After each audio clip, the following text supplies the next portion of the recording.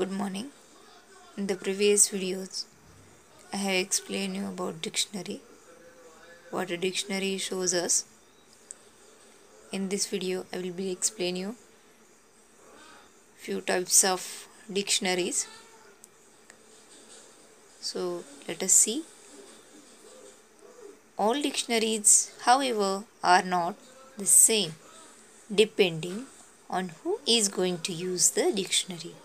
The information in it is arranged and presented in different ways. Do you know that there are different types of dictionaries? Let us look at a few of them. First is children's dictionaries. Some dictionaries are designed specially for children. They include only a few thousands words, but there are many pictures and diagrams in children's dictionaries. They may also be word games, puzzles, and jokes based on the meaning or use of words. Second, pronouncing dictionaries. Some dictionaries provide only the pronunciation of words. It is shown with the help of special symbols. For example, see here spelling of dictionary is given. And in between two slanting lines here some symbols are given. These are used for showing the pronunciation of the word. Third one is dictionaries of synonyms. Some dictionaries give lists of synonyms, words which have a similar meaning. They may also include antonyms or opposites. Synonyms means similar meaning words and antonyms means opposites. So in these dictionaries, we will get only synonyms and antonyms. Next is visual dictionaries. Some dictionaries contain only visuals or pictures. They do not have to explain the meaning in words as the visuals speak for themselves. The visuals may be in the form of photographs, diagrams, or hand drawn pictures.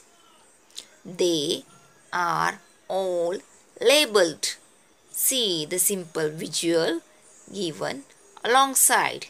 Here you can see it is a picture of a plant.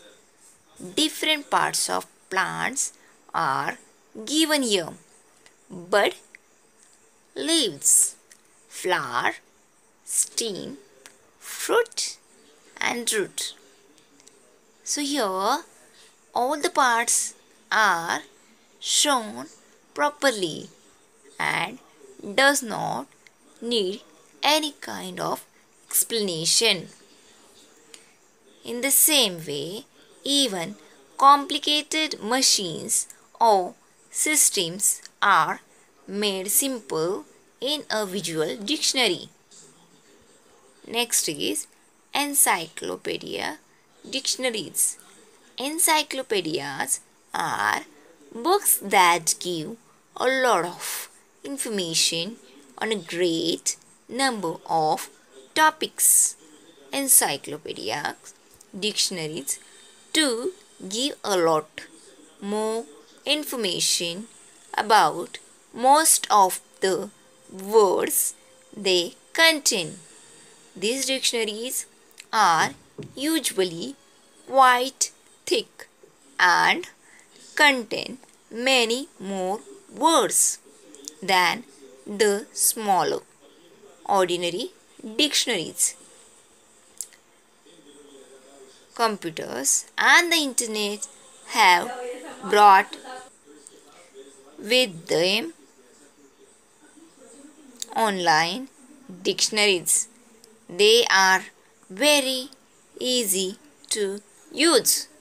You just type the word you want to look up and instantly you are shown its meaning, use, etc. You can even listen to the proper pronunciation of a word. A printed dictionary cannot do this. That means online dictionary gives you a lot of information. Its pronunciation, its type and meaning. Also, how this word is used in a sentence. Then there are some dictionaries that show how a word was used hundreds of years ago, how its use or meaning or spelling change over the years and how it is used today. A dictionary is a must for student. You can begin with the simple attractive dictionaries and they learn to use the more difficult ones later.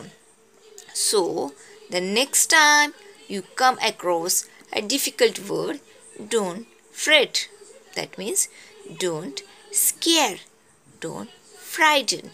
Just look it up in a dictionary. I hope you understand this lesson. We will meet in the next video. Till the time, keep reading. Please read the lesson. If you like the video, please click on like button, share. Don't forget to subscribe the channel. Thank you.